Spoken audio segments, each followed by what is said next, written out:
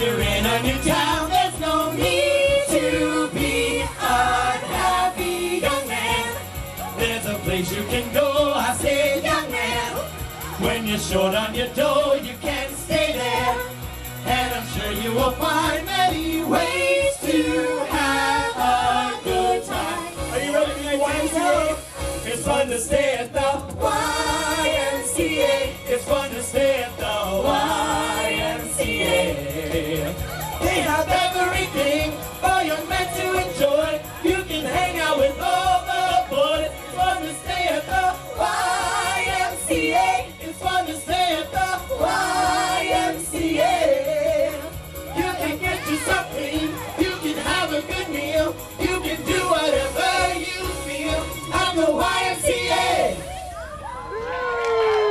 All right, thank you everybody. Let's have a huge round of applause.